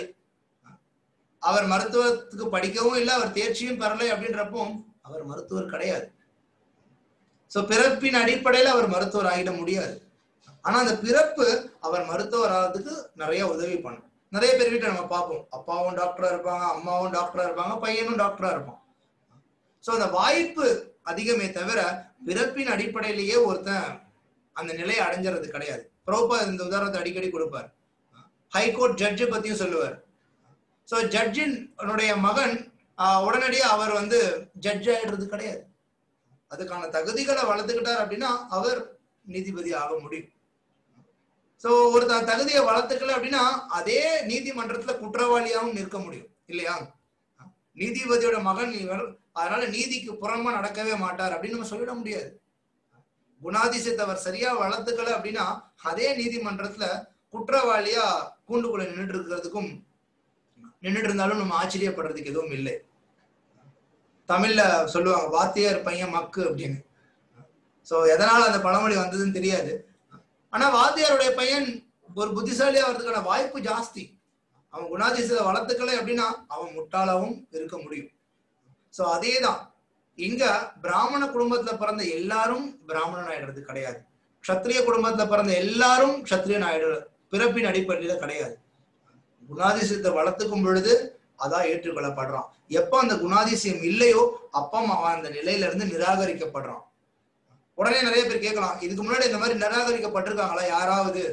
பிராமண நிலையில இருந்து அவன் பிராமணன் இல்லைன்னு சொல்லி நிராகரிக்கப்பட்டிருக்காங்களா? அப்படின்னா ஏகப்பட்ட உதாரணங்கள் இருக்கு சாஸ்திரத்துல. கீழ் நிலையில இருக்கிறவன் உயர்ந்த நிலையா அவனை கருதப்படுறதும் உயர்ந்த நிலையில இருக்கவன் கீழ்நிலைக்கு வீழ்ச்சி அடைஞ்சிட்டான்னு சொல்லி கருதப்படுறதும் சாஸ்திரங்கள்ல எக்கச்சக்க உதாரணங்கள் இருக்கு. உதாரணத்துக்கு ஸ்ரீமத் பாகவதத்திலே பார்க்கலாமே. அஜாமிலன். அஜாமிலன் பாத்தீங்கன்னா பிறப்பின் அடிப்படையில பிராமணன்.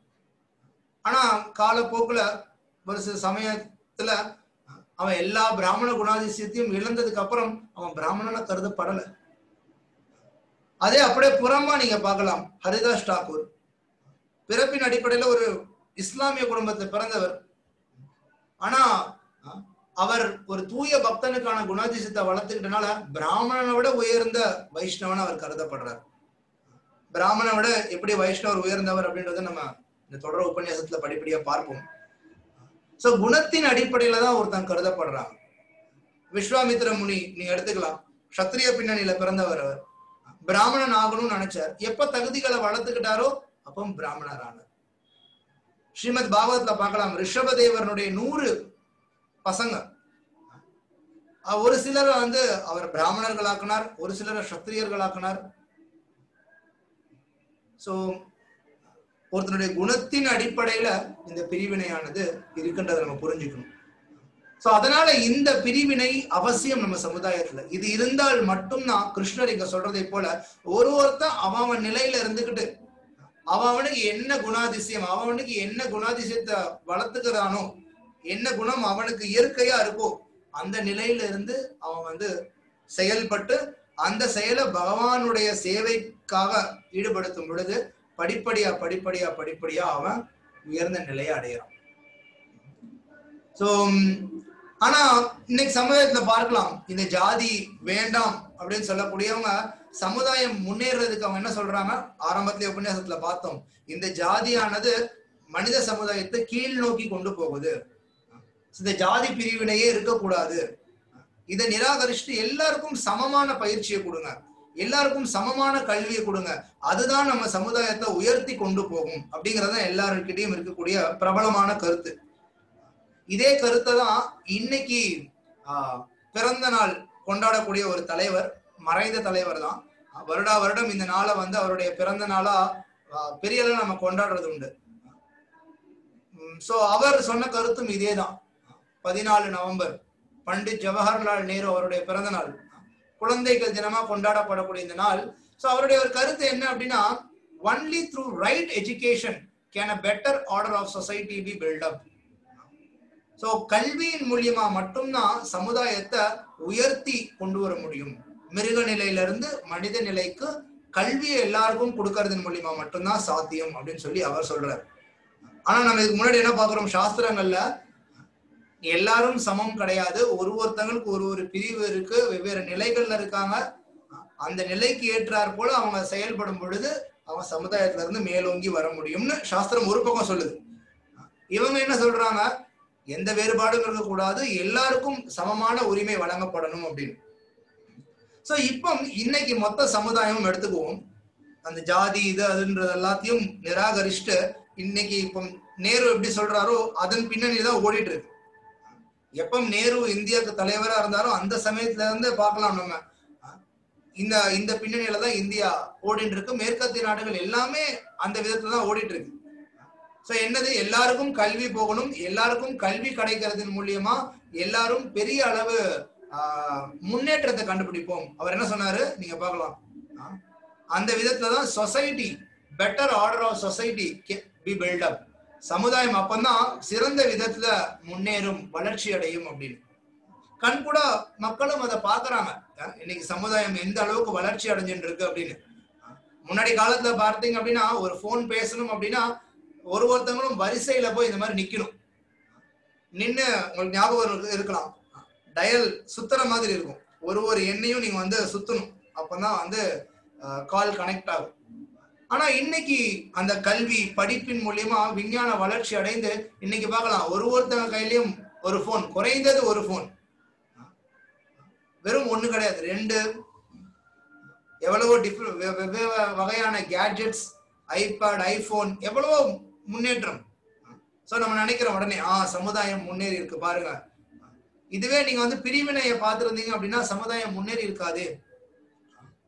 சோ இது வந்து பாருங்க எல்லாருக்கும் சமமா கல்வி கொடுத்திருக்காங்க எல்லாருக்கும் எல்லாரையும் சமமா பாவிக்கணும்னு நம்ம நினைக்கக்கூடிய எண்ணமானது சமுதாயத்தை எப்படி முன்னேறி கொண்டு போயிருக்கு பாருங்க.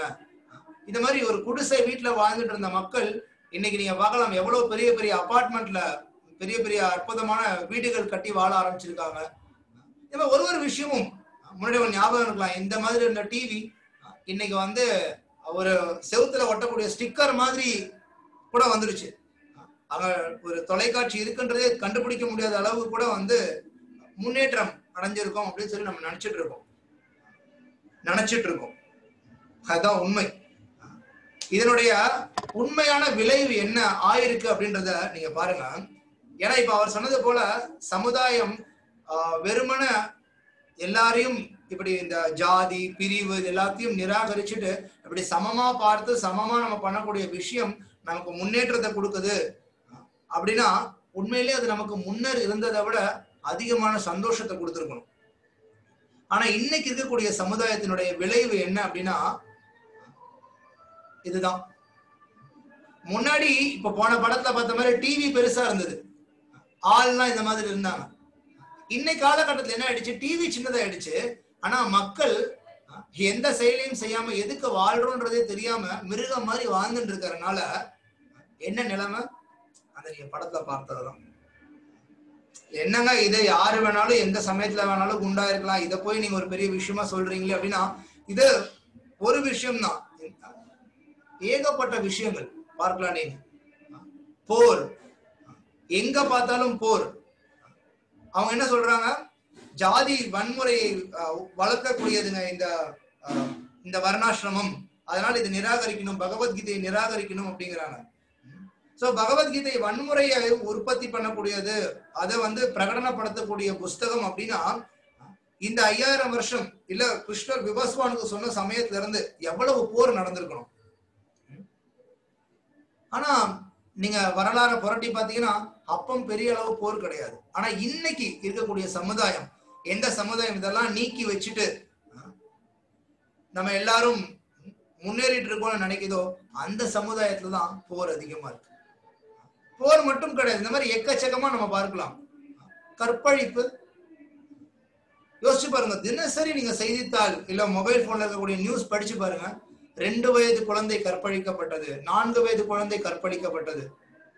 அப்ப யோசிச்சு பாருங்க. அந்த கற்பழிப்புல ஈடுபட்டவனுடைய மனநிலை எப்படி இருக்கும் இல்லைங்க அவர் ரொம்ப மோசமான ஆள். அதனாலதான் பெரிய கல்வி படிச்சிருக்கவங்க எல்லாம் பெரிய புத்திசாலி இருக்கவங்க அப்படி பண்ண மாட்டாங்க அப்படின்னு நீங்க நினைக்கலாம். தவறு. சமீபத்துல தான் அதுவும் ஒரு செய்தியா வந்தது.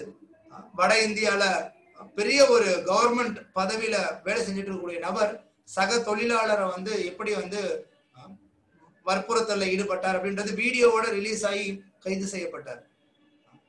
சோ உங்க கணக்கீடின்படி பார்த்தா பெரிய படிப்பு படிச்சவர் சமுதாயத்துல முன்னேறிய நபர். அப்பம் சந்தோஷமா இருந்திருக்கணுமே? கிடையாது. இன்னைக்கு நம்ம ஓடி போயிட்டு இருக்கக்கூடிய வழிமுறை நமக்கு இந்த இந்த விஷயங்களை தான் கொடுத்துட்டு இருக்கு சின்ன வயசுல இருந்து என்ன பண்றாங்க? வீடியோ கேம்ஸ்ன்ற பேர்ல ஷூட்டிங் கேம்ஸ் விளையாடுறாங்க. அப்ப என்ன அது இயற்கையா வளர்ந்த உடனே அவனுக்கு சுடுறது ஒரு தவறாவே தெரியறது கிடையாது. நமக்கு எப்படி சின்ன வயசுல இருந்து நீங்க ஜபம் பண்ணிட்டே இருந்தீங்க அப்படின்னா இது ஒரு சாதாரண ஒரு செயலா உங்களுக்கு தினசரி நீங்க செய்வீங்களோ அதே போலவே அவனுக்கு துப்பாக்கி எடுத்து சுடுறதுன்றது சின்ன வயசுல இருந்து விளையாண்டு விளையாண்டு பழக்கம் ஆயிடுச்சு அப்ப என்ன பண்றான்? எதையுமே யோசிக்காம யாரை பார்த்தாலும் மேற்கத்திய நாடுகள்ல பார்க்கலாம் நீங்க. ஸ்கூலுக்குள்ள போகும்போது இங்க எப்படி இந்தியால வந்து ஐடென்டி கார்டுலாம் செக் பண்ணி உள்ள அனுப்புறாங்களோ மேற்கத்திய நாடுல துப்பாக்கி வச்சிருக்கானா கத்தி வச்சிருக்கானான்னு செக் பண்ணி சோதனை பண்ணி உள்ள அனுப்பக்கூடிய சூழ்நிலையில இருந்துன்றது. சோ இன்னைக்கு சமுதாயம் பாருங்க எந்த அளவுக்கு அடுத்தவனுக்கு கெடுதலை விளைவிக்கக்கூடிய விஷயமா ஏ- நடந்துட்டு இருக்குன்னு வெறும் அடுத்தவங்களுக்கு கெடுதல் மட்டும் கிடையாது தனக்குத்தானே கெடுதலும் தான். முன்னாடிலாம் மக்கள் இத பத்தி யாருமே யோசிக்க கூட மாட்டாங்க இந்த மாதிரி. தற்கொலை. ஏன்னா வேத கலாச்சாரத்தை பின்பற்றிட்டு இருக்கவனுக்கு தெரியும் இந்த உடலானது ஒரு குறிப்பிட்ட காலத்து வரைக்கும் கொடுக்கப்பட்டிருக்கு. அதற்குள்ள நான் தற்கொலை செய்துக்கிட்டேன் அப்படின்னா எனக்கு மீண்டும் அடுத்த உடல் கிடைக்காது. தாமதமாகும். அது வரைக்கும் நான் இந்த வெளிப்புற ஸ்தூல உடல் இல்லாம வெறும் சூக்ஷ்ம உடலோட பேயா ஆவியா நான் சுத்தின்னு இருப்பேன் அப்படின்றது தெரியும் வேத கலாச்சாரத்துல இருந்தவனுக்கு. அதனால தற்கொலைங்கிற விஷயமே யோசிக்க கூட மாட்டாங்க. ஆனா இன்னைக்கு ஸ்டாட்டிஸ்டிக் சொல்லுது உலகத்துல இருக்க ஒரு ஒரு ஆறு பேர்லயும் நாலு பேர் ஒரு ஒரு ஆறு பேருக்கும் நாலு பேர் பாத்தீங்கன்னா அவன் வந்து மாசத்துல ஒரு பத்து தடவையாவது தற்கொலை பண்ணிக்கணும்னு யோசிக்கிறாங்க குறிப்பா மேற்கத்திய நாடா இருக்கலாம் நீங்க நினைப்பீங்க. எல்லா நாட்டிலயுமே அதேதான். அதனாலதான் ரொம்ப பெரிய அளவு விளம்பரப்படுத்தப்படுது. National suicide prevention lifeline அப்படின்னு. தேசிய அளவிலான தற்கொலை அப்படின்றத தற்கொலையை தடுக்கக்கூடியதுக்கான மொபைல் நம்பர் எங்களை நீங்க தொடர்பு கொள்ளுங்க. நீங்க தற்கொலையில ஈடுபடாம இருக்கிறதுக்கு நாம உங்களுக்கு ஆலோசனைகள் தரோம் அப்படின்னு. யோசிச்சு பாருங்க சமுதாயம் எந்த அளவுக்கு போயிட்டு இருக்கு அப்படின்னு. சோ இப்படிப்பட்ட சமுதாயம் தான் சாஸ்திரம் சொல்லுது மனித சமுதாயம் கிடையாது. இது மனிதர்கள் மிருகமா மாறி வாழ்ந்துட்டு இருக்கக்கூடிய சமுதாயம். இது நாய் பூனை போன்ற சமுதாயம். இங்க அமைதி கிடைக்காது சந்தோஷம் கிடைக்காது அப்படின்னு சாஸ்திரம் விளக்குது.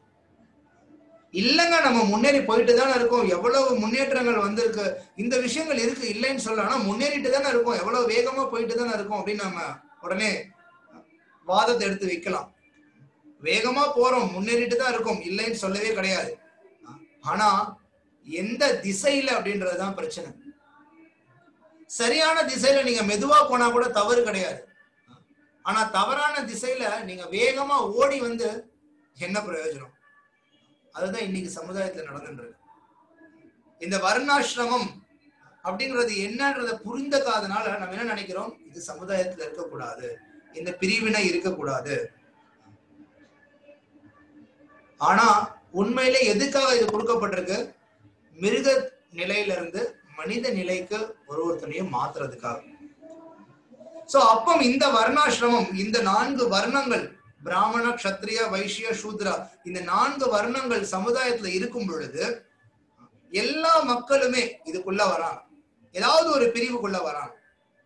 அப்பம் ஒரு ஒருத்தவங்களும் அவங்க நிலையில இருந்துகிட்டே அவங்க கிருஷ்ணனுடைய திருப்திக்கான செயல்கள்ல ஈடுபட முடியும். அதற்காக தான் கிருஷ்ணர் வடிவமைத்து கொடுத்திருக்கிற வழிமுறை இந்த வர்ணாசிரமம்.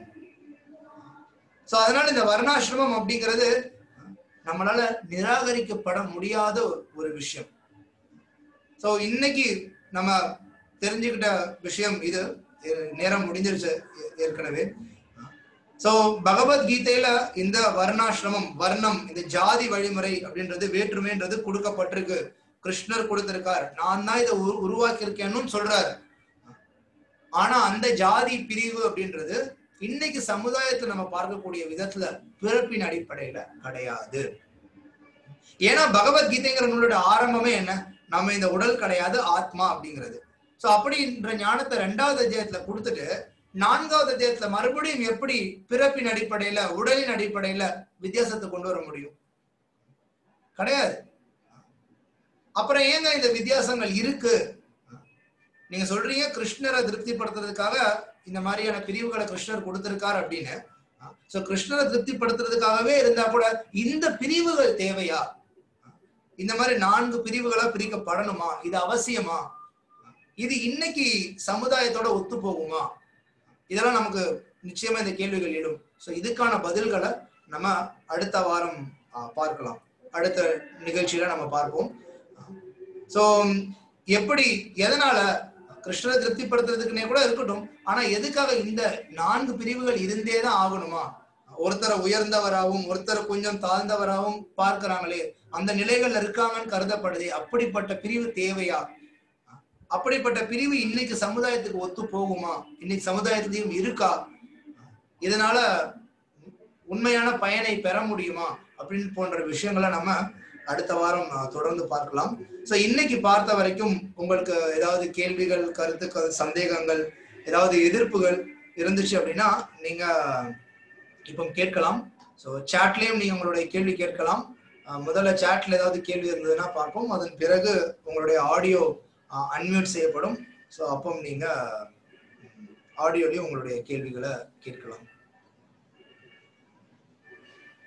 ஸோ சேட்டில் ஹரே கிருஷ்ணான்னு சொல்லியிருக்காங்க.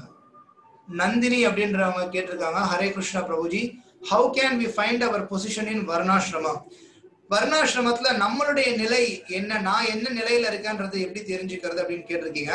ஸோ அது அடுத்த வாரம் நான் அதை பத்தி பேச இருக்கோம் ஏன்னா அடுத்த வாரம் ஒரு ஒரு வர்ணம்னா என்ன ஒரு ஒரு ஆசிரமம்னா என்ன யாரு எந்த வர்ணத்துல இருக்கிறவன்னு அழைக்கப்படுறான் குறிக்கப்படுறான் அப்படின்ற விளக்கத்தை நம்ம அடுத்த வாரம் தான் பார்க்க இருக்கோம். ஏன்னா இந்த வாரம் வெறும் மேலோட்டமா தான் பார்த்தோமே தவிர ஒரு ஒரு வர்ணம் அதாவது பிராமணன்னா யாரு க்ஷத்ரியன்னா யாரு வைஷ்யன்னா யாரு சூத்ரன்னா யாருன்ற விளக்கத்துக்குள்ள நம்ம போகல. சோ அதனால அவனுடைய குணாதிசயங்கள் என்ன? அந்த குணாதிசயங்கள் எப்படி நம்ம வளர்த்துக்கிறது நம்ம என்ன நிலைக்கு வரணும் அப்படிங்கிற விவரங்கள் எல்லாத்தையுமே நம்ம வரக்கூடிய வாரங்கள் அடுத்த வாரத்தை பார்ப்போம். அடுத்த வாரத்திலயும் முழுமையா பார்க்க முடியலன்னா தொடர்ந்து நம்ம இந்த தலைப்புகளை பார்ப்போம். ஸோ உங்களுடைய பதிலுக்கு நீங்க அடுத்த உபன்யாசத்துக்காக காத்திருக்கிறோம். ஸோ சாட்ல வேற எந்த கருத்துக்களும் இல்லை. ஸோ நீங்க ஏதாவது கேள்வி யாராவது ஆடியோல கேட்கணும் அப்படின்னா நீங்க உங்களுடைய கையை உயர்த்தலையும் அப்படின்னா உங்களுடைய கேள்விகள் அதன் மூலியமா நீங்க கேட்கலாம்.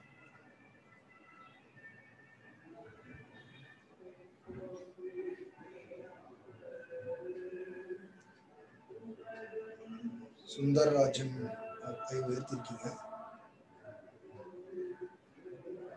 ஒரு நிமிஷம்.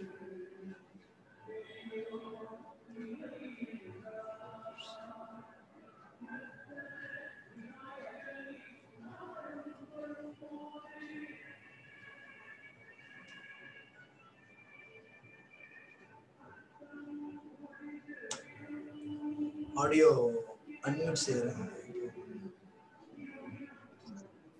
ஹரே கிருஷ்ணா. கிருஷ்ணா. இப்போ நீங்க இந்த இதெல்லாம் சொன்னோம் நம்ம ஜாதி வந்து அந்த பிறப்பின் அடிப்படையில இல்ல நம்ம வந்து அப்படின்னு சொன்னோம். ஆனா இப்ப இவ்வளவு தூரம் நம்ம வளர்ந்து வந்துட்டோம் சோ இதை எப்படி நம்மளால மாத்த முடியும்? எப்படி இவ்வளவு தூரம் வளர்ந்து வந்துட்டு எப்படி மாத்துறது? ஓகே. ஸோ இத்தனை நாளும் நம்ம வந்து இந்த இது ஜாதியின் அடிப்படையில ஜாதி அப்படின்றது பிறப்பின் அடிப்படையிலன்ற எண்ணத்துல தான் வளர்ந்து வந்திருக்கோம். மொத்த சமுதாயமும் அப்படிதான் நினைச்சிட்டு இருக்கு இப்ப எப்படி இதை மாத்துறது அப்படின்னா ஸோ இன்னைக்குதான் உங்களே நிறைய பேருக்கு இது தெரிய வந்திருக்கலாம். ஸோ தெரிய வந்தோன்னு நிச்சயம் உங்க இடத்துல மாற்றம் இருக்கும்னு எதிர்பார்க்கப்படுது. ஸோ அப்போ வி- விஷயம் என்ன? எப்போ மாற்றம் வந்தது? உங்களுக்கு எப்போ இதை பத்தின ஞானம் கிடைச்சதோ அப்போ மாற்றம் வந்தது. ஸோ அதே போலவே தான் நான் ஆரம்பத்திலே சொல்லியிருந்தேன் ஆங்கிலேயர்கள் இந்த விஷயத்த மக்கள்கிட்ட எப்படி புகட்டினாங்க? இது தவறு அப்படின்றது போல ஒரு எண்ணத்தை கொண்டு வந்து. ஸோ இப்போ நம்ம மீண்டும் நம்மளுடைய கடமை என்ன அப்படின்னா இது தவறு கிடையாது. இதனுடைய உண்மையான நோக்கம் என்ன? உண்மையான காரணம் என்ன? கிருஷ்ணர் பகவான் கிருஷ்ணர் ஒரு ஒருத்தனுடைய உண்மையான நலன் விரும்பி அவர்தான். இல்லையா? போக்தாரம் யஜ்ய தபசாம் சர்வலோக மகேஸ்வரம் சுகிருதம் சர்வபூதானாம் ஒரு ஒரு உயிர்வாளியினுடைய உற்ற நண்பன் கிருஷ்ணர் தான் அப்படின்னு சொல்லி பகவத்கீதையில கிருஷ்ணரே சொல்றார். சோ அப்படி இருக்கும் பொழுது கிருஷ்ணர் எல்லாருக்கும் நன்மையை தான் விளைவிப்பார். ஸோ நன்மையை விளைவிக்கக்கூடிய செயல்களை தான் பண்ணுவார். ஸோ அதனாலதான் அவர் வர்ணாசிரமத்தையும் இந்த வர்ணங்கள் ஜாதியையும் கூட கொடுத்திருக்கார். அப்படின்றத முதல்ல நம்ம இந்த ஞானத்தை சரியான குருசீட பரம்பரையில இருந்து கேட்டு சில பிரபுபாதர்கிட்ட இருந்து படிச்சு நம்ம தெரிஞ்சுக்கிட்டு முதல்ல நம்ம புரிஞ்சுக்கணும். பிறகு இந்த ஞானத்தை நம்ம மத்தவங்களுக்கும் எடுத்து சொல்லணும் கொடுக்கணும். சோ எந்த அளவுக்கு நம்மளால இந்த ஞானத்தை கொண்டு போய் மத்தவங்களுக்கு சேர்க்க முடியுமோ சில பிரபுபாதர் எந்த அளவுக்கு சேர்த்திருக்காருன்னு பாருங்க அதனாலதான் பெரிய அளவு மாற்றங்கள் ஏற்பட்டிருக்கு. சோ அவர் நமக்காகவும் நிறைய மீதம் விட்டுட்டு போயிருக்காரு நம்ம செய்யறதுக்கான செயல்களையும். சோ நம்ம என்ன பண்ணணும்? அதனாலதான் நம்மளும் மற்ற எல்லாருக்கும் இந்த விஷயங்களை எடுத்து சொல்லணும்.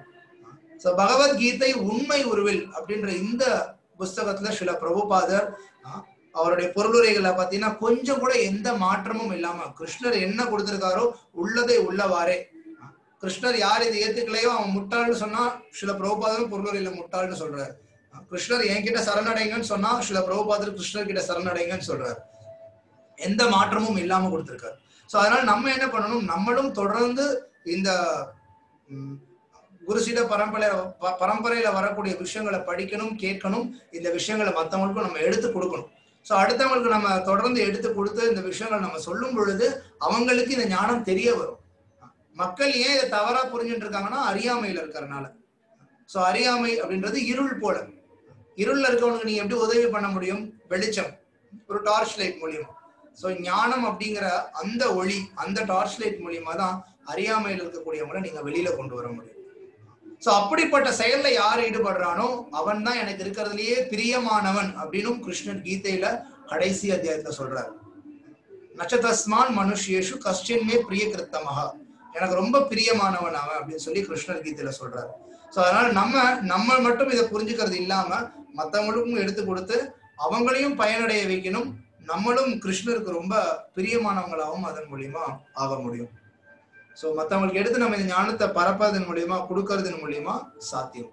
ஸோ சில பிரபுபாருடைய புஸ்தகங்களை விநியோகம் பண்றதன் மூலியமா அவருடைய உபன்யாசங்களை அவங்கள கேட்க வைக்கிறதன் மூலியமா அவங்கள இந்த ஞானத்துக்கு கொண்டு வரதன் மூலியமா சாத்தியம்.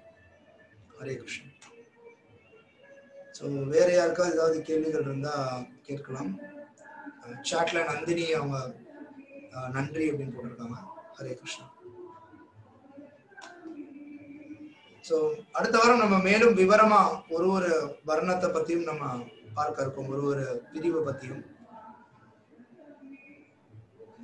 ஹரே கிருஷ்ணா. ஹரே கிருஷ்ணா சொல்லுங்க. இப்ப நீங்க நான் தான் கொஸ்டின் கேட்டேன். நீங்க ஆன்சர் பண்ணீங்க. அது கரெக்ட் ஆனா இப்போ உள்ள யங்கர் ஜெனரேஷன் வந்து ஒரு ஒரு அது தப்பான அபிப்பிராயமா என்னன்றது புரியல. இப்ப அவங்க சொல்றாங்க ஜாதிக இந்த ஜாதி அடிப்படையில நம்ம இல்ல.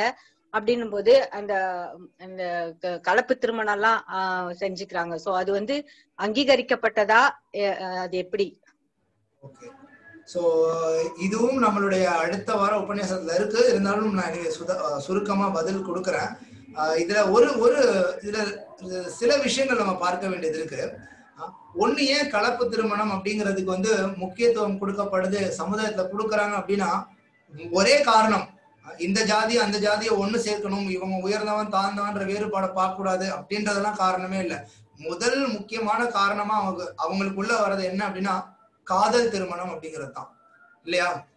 காதல் அப்படின்ற ஒரு விஷயத்துக்காக தான் அவன் வந்து காதலுக்கு கண்ணு கிடையாது அது மேல் ஜாதி கீழ் ஜாதியை பார்க்கறது கிடையாது. இன்னைக்கு காலகட்டத்துல ஆண் பெண் வித்தியாசத்தை கூட பார்க்கறது கிடையாது. சோ சாஸ்திரம் என்ன சொல்லுது அப்படின்னா உண்மையிலேயே காதல் அப்படின்றதே ஆஹ், போலியான ஒண்ணுதான். அந்த காதல் அப்படின்றது எப்ப உண்மையானதுன்னா எப்போ கிருஷ்ணருக்காக செய்யறோமோ அது பேர் தான் காதல். மீதி காமம் அப்படின்னு அழைக்கப்படுது. சோ காமம் அப்படின்னா என்னுடைய புலன் திருப்திக்காக எனக்கு ஒரு விஷயம் வேணுங்கிறதுக்கு நான் அணுகிறேன். இவன் நினைக்கிறான் அவ அழகா இருக்கா எனக்கு திருப்தியை கொடுப்பா அப்படின்னு. அந்த பெண்மணி நினைக்கிறா இவன் வந்து நல்லா செல்வந்தனா பணக்காரனா இருக்கான் புத்திசாலியா இருக்கான் அழகா இருக்கான் சோ எனக்கு திருப்தியை கொடுப்பான் அப்படின்னு நினைக்கிறாங்க. சோ அதனால ரெண்டு பேரும் ஒன்று சேர்றாங்க. இன்னைக்கு சமுதாயத்தினுடைய இதனுடைய விளைவு நீங்க நல்லா தெளிவா பார்க்கலாம். என்ன ஏற்படுது? ரெண்டு பேர் நேசிக்கிறாங்க காதலிக்கிறாங்க விழுந்து விழுந்து காதலிக்கிறாங்க திருமணம் பண்ணிக்கிறாங்க. ஒரு ரெண்டே வருஷம் தான் அந்த காதல் எங்க போச்சுன்னு தெரியாது. உடனே விவாகரத்து. மீண்டும் வேற ஒரு பெண்மணியை கல்யாணம் பண்றான் மீண்டும் வாழ்றாங்க மீண்டும் விவாகரத்து. இன்னைக்கு நீங்க பார்க்கலாம் சமுதாயத்தில் இருக்கக்கூடிய எவ்வளவு பிரபலங்கள் வாழ்க்கையில இது நடந்துட்டு இருக்குன்றதை நீங்க பார்க்கலாம். பல மக்கள் வாழ்க்கையில சாதாரணமா நடந்துட்டு இருக்கு இந்தியாக்குள்ள வந்துட்டு இருக்கு இது. மேற்கத்திய நாடுகள்லாம் ரொம்ப சர்வசாதாரணமானது. திருமணம் பண்றது விவாகரத்து பண்றது திருமணம் பண்றது விவாகரத்து பண்றது. சோ வர்ணாசிரமம் நம்ம சொல்லியிருந்தோம் ஆசிரமம் அப்படின்ற பிரிவுக்குள்ள நம்ம இதை பத்தி பார்க்க இருக்கோம். கிரகஸ்த ஆசிரமம் குடும்பஸ்தனா இருக்கக்கூடியவன். சோ எப்படிப்பட்ட குடும்பஸ்தன் வந்து ஒரு மனிதனை போன்ற வாழ்றான் விளக்கப்படுது அப்படின்றத நம்ம அந்த உபன்யாசத்துல பார்ப்போம். இன்னைக்கு வெறு வெறுமன வெளிப்புற அட்ராக்ஷனை பார்த்து இருக்கக்கூடிய இந்த காதல் பேரளவுல காதல் சொல்லப்படக்கூடிய காமமானது மிருக வாழ்க்கையில இருக்கக்கூடிய காமத்துக்கும் மனிதன் காட்டக்கூடிய காமத்துக்கும் எந்த வேறுபாடும் கிடையாது. ஒரு மிருகம்னா இன்னைக்கு பார்க்கலாம் நீங்க. தன்னுடைய தாயா தந்தையா மகளா எந்த வித்தியாசமும் பார்க்காது. காம இச்சை வந்தது அப்படின்னா.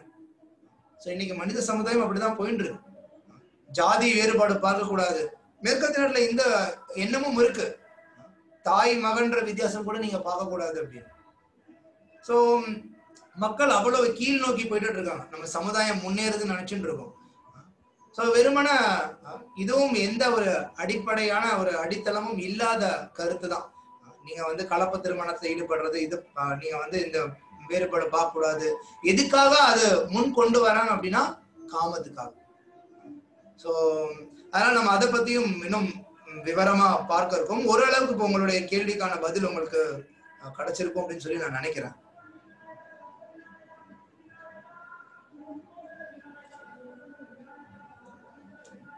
சோ வேற ஏதாவது கேள்விகள் சந்தேகங்கள் இருந்தா நீ கேட்கலாம். அவங்களுடைய கலப்பு திருமணம் அப்படின்ற அந்த எண்ணமானது சமுதாயத்திற்கு எல்லா ஜாதியும் ஒரே நிலையை கொண்டு வரணும்ன்ற எண்ணத்துக்காக கிடையாது. அதை நம்ம தெளிவா புரிஞ்சுக்கலாம். ஸோ அதனால அதை பத்தியும் நம்ம வந்து பார்க்க இருக்கோம் ஏன்னா இந்த வர்ணாசிரமம் அப்படின்ற இந்த ஒரு சப்ஜெக்டே பார்த்தீங்கன்னா ரொம்ப பெருசு.